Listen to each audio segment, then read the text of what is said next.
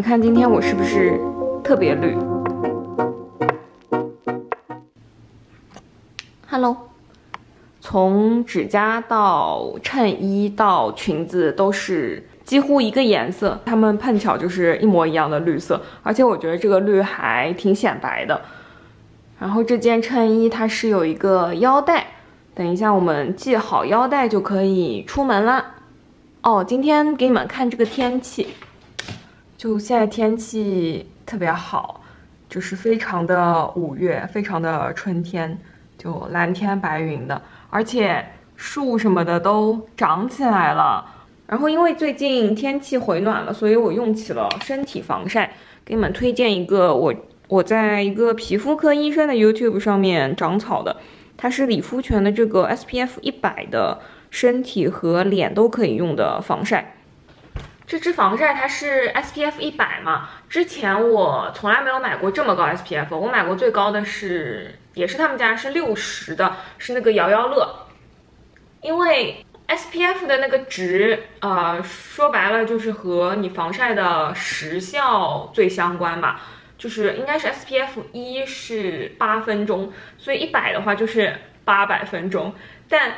其实一天你根本不需要防这么久。但是我看那个皮肤科医生，他的推荐是说，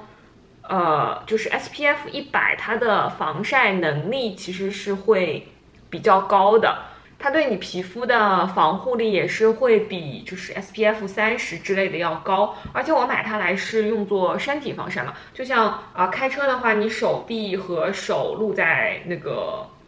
外面就会比较容易晒黑，包括脖子还有脚踝。就因为我很喜欢穿九分裤，然后还有那种一脚蹬的小白鞋啊什么的，所以我以前上学的时候就在学校里，然后只有脚踝是露在外面，所以我的脚踝会比我腿的其他部分要黑，我就超级郁闷。直到这两年，就是从美西搬到美东之后，晒的少了，我脚踝才和原来的就和我其他地方的皮肤变成。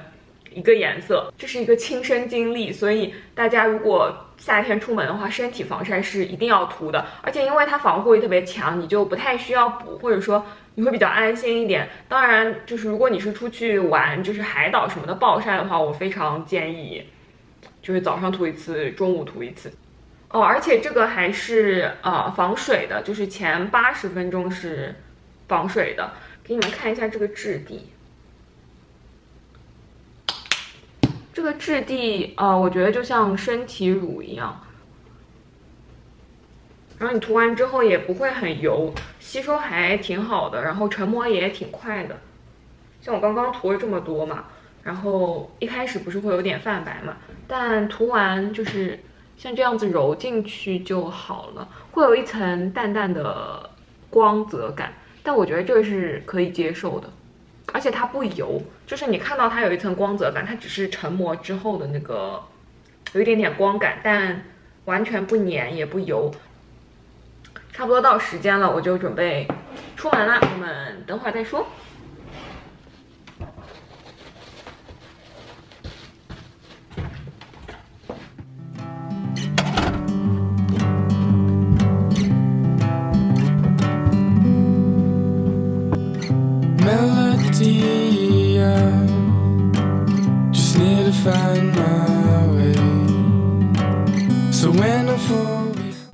刚刚涂了一个口红，然后现在在等朋友下楼。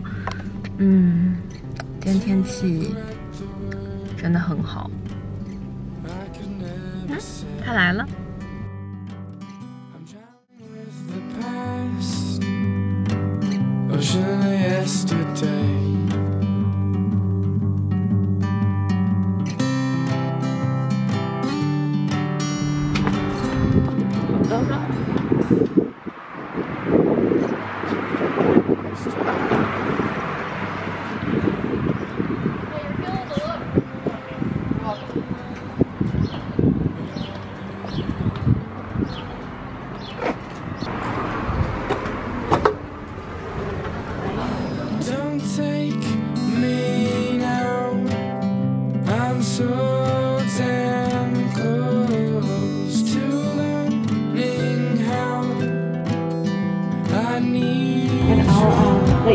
Photos after. Yeah,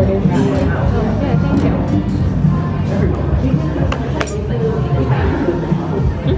没有地方挂口罩。呃，ricotta toast，然后上面是什么来着？橘子酱吗？那我们现在来切一切。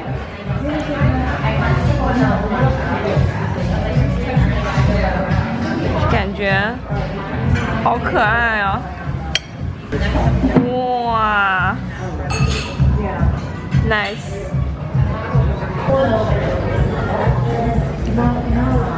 正好，摸起来软软的。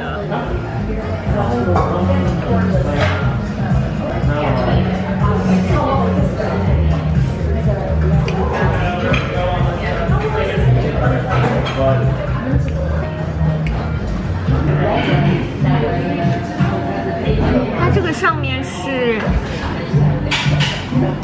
橘子果酱，还挺清新的。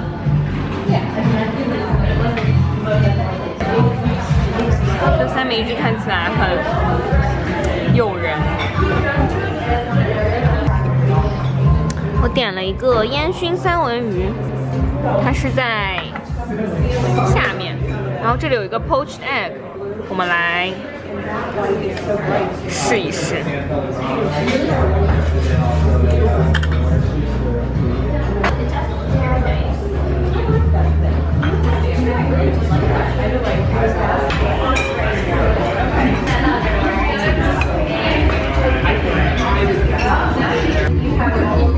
没关系，就是我觉得匹兹堡那个容易，就是容易有点开开错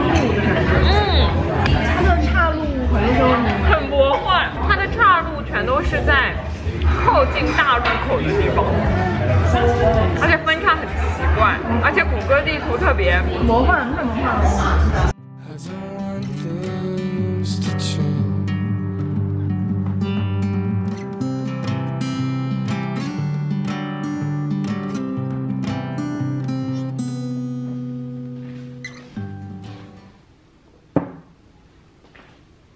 Hello，我回到家了，然后我现在泡了一杯茶，准备看一会儿书。我现在用的是这个 Kindle 的 Paperwhite，正好想给你们反馈一下。我是从今年年初开始坚持读书，我一开始的两三个月都是用的实体书，就是有什么感兴趣就买回来读。但是因为以后可能要回国或者搬家，实体书如果你一年看个几十本，你到时候搬家起来就会非常的麻烦，因为也不舍得扔。然后我就思考说，想要买一个 Kindle 的 Paperwhite。我买之前是稍微做了一点功课，问了几个朋友，就是有阅读习惯的朋友，然后他们都跟我说，他们还挺喜欢的，就觉得很方便。我觉得，如果你是一个本身就有阅读习惯的人，那买一个 Paperwhite 是非常具有投资价值的，因为携带起来的确非常的方便。然后你所有的书都放在里面，你到时候搬家什么的也不会有其他的问题。然后旅行的时候带上飞机，或者你去咖啡店里想要带书去读的话，那它就是一个非常好的选择，因为它这个大小就比手掌大一点吧，可以放在很多女生的小包里都没有问题，就不需要因为想要带一本书而换一个比较大的包。但是相对来说，如果你是想要培养阅读习惯，但是还没有完全就是适应每天都读书的，就我还是会建议你像我一样从实体书去入门，因为实体书，我个人的感觉是比较有仪式感，你会比较容易去坚持下去。虽然你也可以让它就是显示出来你读的那个 percentage 是多少，但就没有实体书的那个成就感来那么强烈吧。还有一个就是这个是防水的，所以如果你想要在泡澡的时候看，或者说你比较担心你在喝茶或者喝咖啡的时候洒到它的话，其实它都是没有关系的。哦，然后它还有一点好，我觉得是，就是如果你想要做读书笔记的话，它其实也非常方便，就是你只要点击你想要就是选择的那个段落，就像这本书里面，我现在是有三个书签嘛，也不是三个书签吧，就三个 notes，然后你点进去，它就会回到你刚刚 highlight 的地方。对，我觉得这个还挺方便的。你 highlight 它之后，啊，它会自动给你新建一个文档，里面就是所有你想要划线的内容，到时候找起来就会很简单。然后包括添加书签什么的话，都比实体书要方便一些，所以这也是它另一个优点吧。好，那我现在就要看一会儿书。I need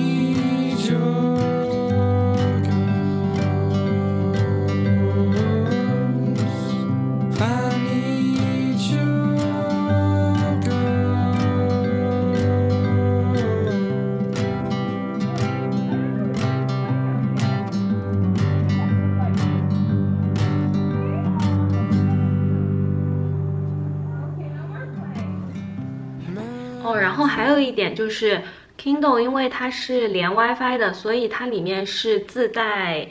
呃 Wikipedia 和那个词典，